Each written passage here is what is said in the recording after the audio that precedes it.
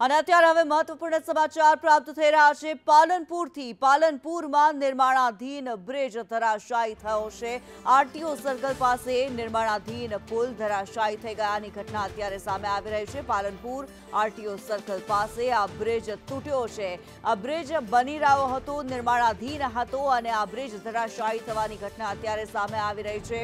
પાલનપુરની આ ઘટના કે જ્યાં એક નિર્માણાધીન બ્રિજ તૂટી પડ્યો છે. ધવલ જોશી વધુ વિગતો સાથે જોડાયેલા છે. ધવલ પાલનપુરમાં એક નિર્માણાધીન પુલ જે એક ધરાશાયી થવાની ઘટના સામે આવી રહી છે. શું છે માહિતી? ચોક્કસ કિન્નરી બનાસકાંઠા જિલ્લાના મુખ્ય મથક પાલનપુરના જૂના આરટીઓ ચેકપોસ્ટ નજીક એક નવીન એલિવેટેડ બ્રિજનું નિર્માણ થઈ રહ્યું છે. મહત્વની વાત છે કે કહેવાય છે કે દેશમાં આ બીજા કે ત્રીજા નંબરનો બ્રિજ છે તે બનવા જઈ રહ્યો છે. પરંતુ આજે જે પ્રકારે વહેલી સવારે ઘટના ઘટી છે કે આ બ્રિજનો જે જૂના આરટીઓથી આરટીઓ ઓફિસ તરફ જતો જે માર્ગ છે તે માર્ગ પર આ બ્રિજના પાંચ જે આરસીસી ના સ્લેબ છે તે તૂટીને નીચે પડ્યા છે. મહત્વની વાત છે કે હજુ તો આ બ્રિજનું નિર્માણ કાર્ય ચાલી રહ્યું છે ને તે પહેલા જ આરસીસીના બ્રિજ નીચે પડતા અત્યારે તો જે આરસીસી બ્રિજ નીચે પડતા ખળભળાટ મચી જવા પામ્યો છે અને જે આ બ્રિજની તૂટવાની ઘટના સામે આવી છે. મહત્વની વાત છે કે આ બ્રિજની નીચે એક રિક્ષા પડી હતી ને રિક્ષા નીચે દટાઈ હોવાનું અત્યારે પ્રાથમિક અનુમાન છે તે લગાવવામાં આવી રહ્યું છે. તંત્રની ટીમો અત્યારે ઘટના સ્થળે પહોંચી છે અને સમગ્ર મામલે વધુ તપાસ છે તે હાથ ધરી રહી છે. કિનરી. બિલકુલ, ધવલ, અહીંયા આપણી પાસેથી જાણવા માંગીશું, પ્રાથમિક ધોરણે કોઈ માહિતી પ્રાપ્ત થઈ છે આ બ્રિજ શા કારણે થઈને આ સ્લેબ તૂટ્યો છે? બ્રિજ સ્લેબ જે છે બ્રિજનો તે શા કારણથી તૂટ્યો છે?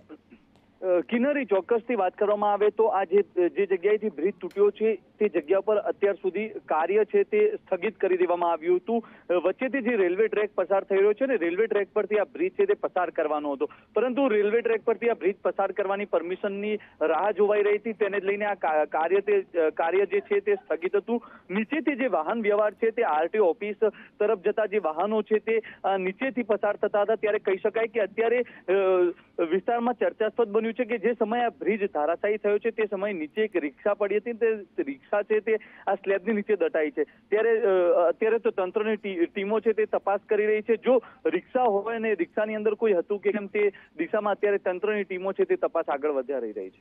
કિન્નર બિલકુલ ધવલ બ્રિજનું જે નિર્માણ કાર્ય છે, ક્યારથી શરૂ થયું છે, ક્યારથી આ બ્રિજ બની રહ્યો છે?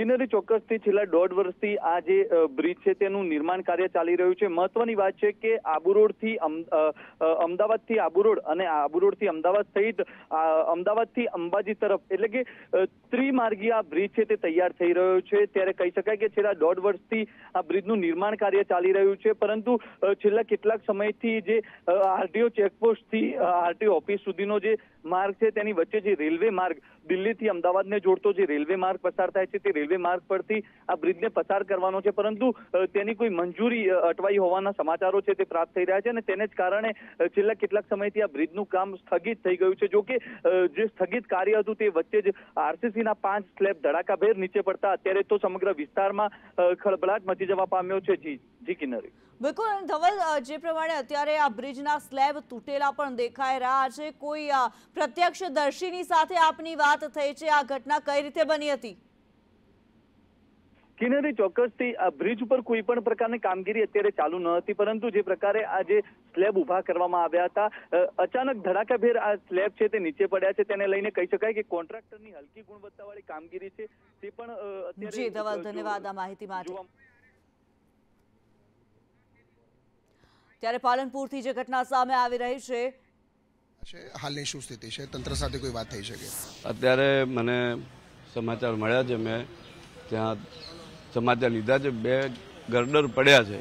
ખરેખર ત્યાં શું પરિસ્થિતિ છે ખ્યાલ નથી પણ તાત્કાલિક અત્યારે હું મારા મત વિસ્તારમાં જઈ રહ્યો છું. ખાસ કોઈ કેઝ્યુઅલિટી થઈ હોય કોઈને વાગ્યું એ પ્રકારની એ પ્રકારની જે બી વાત હોય ત્યાં જઈશ પછી વધારે ક્લેરિટી આવશે. ત્યાં જવા માટે ધારાસભ્ય અ, થોડાક સમયમાં નીકળે છે. જે મહત્વની વાત છે કે આ બ્રિજ ત્યાં નવો બની રહ્યો હતો અને એના બે ગડરના ભાગ નીચે પડ્યા છે.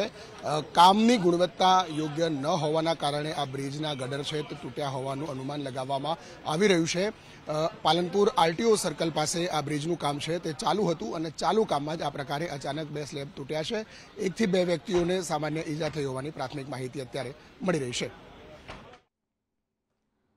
પાલનપુરમાં નિર્માણાધીન બ્રિજનો એક સ્લેબ ધરાશાયી થયો.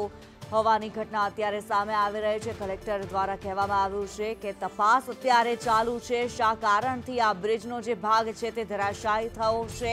તેની તપાસ ચાલી રહી હોવાનું કલેક્ટર દ્વારા જણાવવામાં આવ્યું છે. ત્યારે જે પ્રમાણે અત્યારે ઘટના સામે આવી રહી છે, દ્રશ્યોમાં પણ આપ જોઈ રહ્યા છો, પાલનપુરમાં એક નિર્માણાધીન બ્રિજનો એક આખો ભાગ ધરાશાયી થઈ ચૂક્યો છે. એક આખો સ્લેબ જે છે, તે ટુકડે ટુકડા થઈને નીચે જમીન પર પડેલો જોવા મળી રહ્યો છે.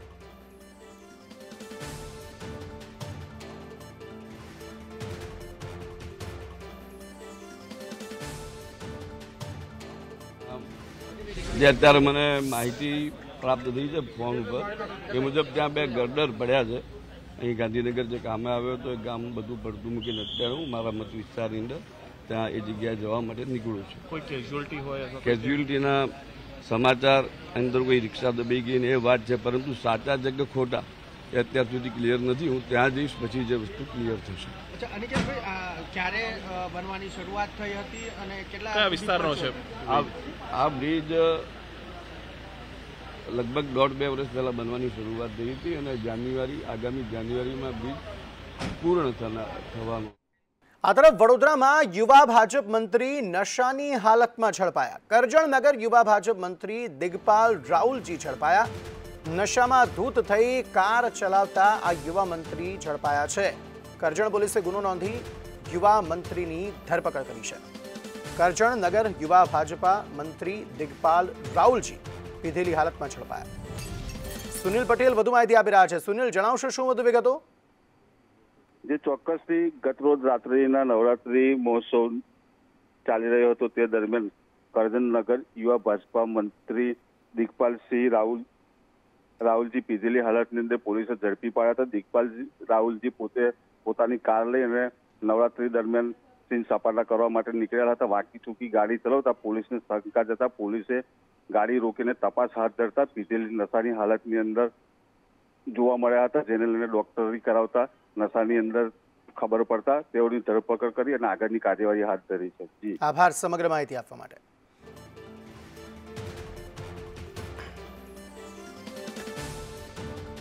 નશાની હાલતમાં ધૂત થઈને ગાડી ચલાવતા આ યુવા મંત્રી વિરુદ્ધ ફરિયાદ નોંધાઈ છે. કરજણ પોલીસે ગુનો નોંધી આ યુવા મંત્રીની ધરપકડ કરી છે. વડોદરામાં યુવા ભાજપ મંત્રી નશાની હાલતમાં ઝડપાયા છે. કરજણનગર યુવા ભાજપ મંત્રી દિગપાલ રાહુલજી આ વ્યક્તિનું નામ ભાજપાના મંત્રી, યુવા મંત્રી છે અને તેઓ દારૂની હાલતમાં, નશાની હાલતમાં ઝડપાયા છે. રાજ્યમાં હૃદયરોગના કિસ્સામાં સતત વધારો થઈ રહ્યો છે. ભુજ તાલુકાના માધાપર ગામના યુવાનનું હાર્ટ એટેકથી મોત થયું છે. માધાપરનો પાંત્રીસ વર્ષીય યુવાન ઘર પાસે જ ઢળી પડ્યો હતો. દીપક સોનીનું હાર્ટ એટેક આવતા મોત થયું છે. ભુજ તાલુકાના માધાપર ગામના યુવાનનું હાર્ટ એટેકથી મોત થયું છે. વધુ માહિતી આપી રહ્યા છે સંવાદદાતા અલ્પેશ ગોસ્વામી. અલ્પેશ, જણાવશો શું વધુ વિગતો? અંકિત, જે રીતે રાજ્યમાં હાર્ટ એટેકના બનાવ છે તે સતત વધી રહ્યા છે, ત્યારે ભુજ તાલુકાના માધાપર ગામના યુવાનનું પણ હાર્ટ એટેક આવવાથી મોત થયું છે. દીપક સોની નામના પાંત્રીસ વર્ષનો યુવક છે તે ઘર પાસે ઢળી પડ્યો હતો, ત્યારબાદ તેને સારવાર માટે જીકે જનરલ હોસ્પિટલમાં દાખલ કરવામાં આવ્યા હતા, પરંતુ હોસ્પિટલ પહોંચે તે પહેલા તેમનું મોત થયું છે અને ફરજ પરના તબીબોએ તેને મૃત જાહેર કર્યા છે. જે રીતે રાજ્યની અંદર સતત હાર્ટ એટેકના કેસ વધી રહ્યા છે, તેને લઈને ચોક્કસથી કંઈક ને કંઈક ચિંતાનો માહોલ પણ અત્યારે જોવા મળી રહ્યો છે. અંકિત. આભાર, સમગ્ર માહિતી આપવા માટે.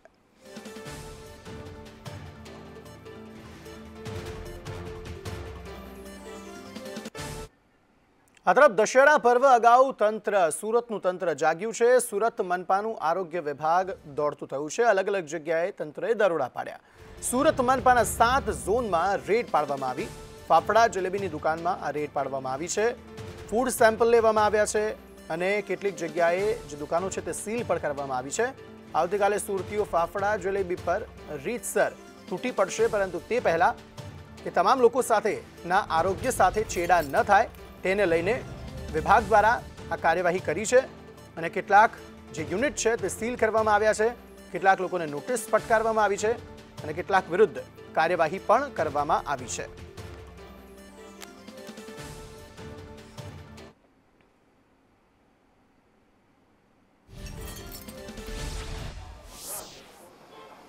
દશેરાના પર્વ પહેલાં સુરત મહાનગરપાલિકાનું આરોગ્ય તંત્ર તમારી સામે છે કે દોડતું થયું છે, કારણ કે અનેકવાર સેમ્પલ ફેલ બનવાના ઘટનાઓ સામે આવી છે, તેને ધ્યાનમાં રાખીને અને મહત્ત્વનો તહેવાર ફાફડા, જલેબી, સુરતી લાલાઓ કરોડ રૂપિયાનું ઝાપટી હાથ જાતા હોય છે. ત્યારે તમામ ઝોનની અંદર આ પ્રક્રિયા કરવામાં આવી રહી છે. તમારી સામે છે કે સેમ્પલ લેવામાં આવ્યા છે. આપણે અધિકારીથી જાણીશું એમનું શું કેવું છે, કેટલી જગ્યાઓ પર દરોડા રેટ છે અને કેવા કેવી રીતે સેમ્પલ ટેસ્ટિંગ અહીંયા થશે કે બહાર થશે?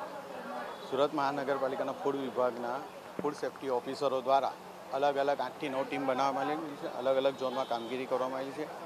જે સંસ્થાઓ ફાફડા જલેબીનું ઉત્પાદન કરતી સંસ્થાઓ તપાસણી થઈ રહેલી છે. નમૂના લેવાની પણ કામગીરી ચાલુ છે. તેમજ તાતી તેલ અને ઘીના પણ નમૂના લેવાશે. તેમજ ટીપીસી મશીન દ્વારા આપણે તેલની પણ તપાસણી કરીએ છીએ. ને એમાં જો કોઈ ખામી માલુમ પડે તો આપણે ફૂડ સેફ્ટી મુજબ કાર્યવાહી કરીશું. લીધેના નમૂના આપણે સુરત મહાનગરપાલિકા લેબોરેટરીમાં મોકલેલા છે. અને રિપોર્ટ તાકીદે આપવા માટે આપણે જાણ કરેલી છે.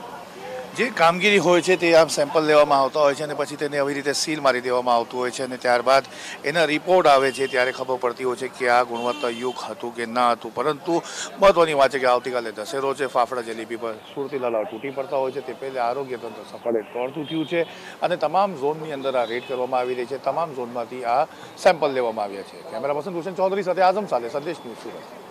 હજરાવ આણંદના અંકલાવમાં અકસ્માતમાં એક વ્યક્તિનું મોત થયું છે. મુચકુવા પાટિયા પાસે બે બાઇક સામ સામે અથડાઈ. ખડોલના હર્ષદ પઢિયાર નામના યુવકનું ઘટના સ્થળે મોત થયું. યુવકને ગંભીર, તો બીજા એક યુવકને ગંભીર હાલતમાં સારવાર માટે વડોદરા ખસેડાયો છે.